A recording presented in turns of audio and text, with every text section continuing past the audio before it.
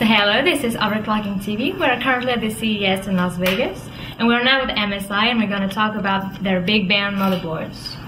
Hey guys, um, I'm Rajiv, uh, PR and technical marketing with MSI, and we're actually here to show off our Big Bang Fuzion board, which is actually, uh, you know, been released as far as the press uh, press release is out. And this is a brand new uh, motherboard series that we're launching that uses pretty much all the features you could ever want. And the big, real big uh, bullet point out of this is the Hydra chip that's on the board itself. And what this allows is um, multiple GPU scaling between NVIDIA or ATI cards. Absolutely limitless. You know, you, um, you have no restrictions whatsoever as what you want to do.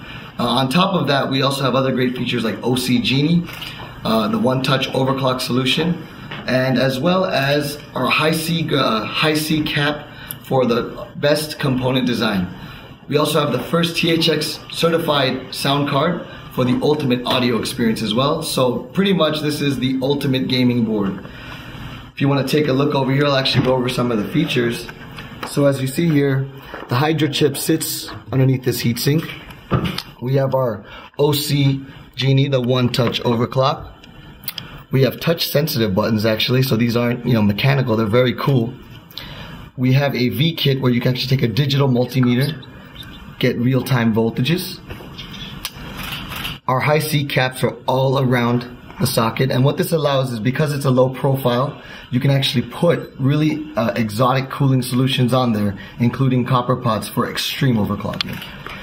We also have our DrMOS chips that sit underneath here and this is our power regulation. We've actually been using DrMOS on a lot of MSI motherboards in the past and it's been proven to be the best solution uh, compared to the competition.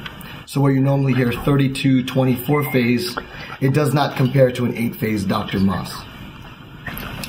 And again here, as you can see, we have our PCI Express. We have three here.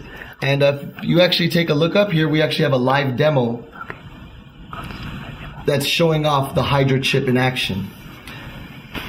So we have an ATI 4890 sitting on top and no physical bridge between that and the 260 GTX, which is very cool as well, less complicated.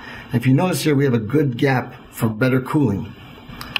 This helps in you know really closed uh, closed air environments. And we have our THX sound card up here, so it's not actually sitting in between, again, causing more heat issues.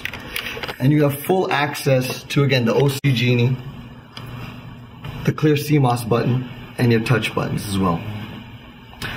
So a lot of design went into this actual motherboard. And uh, if you take a look back here, you can actually see the live demo. It's a benchmark, but uh, it's proof that the, pr the product works.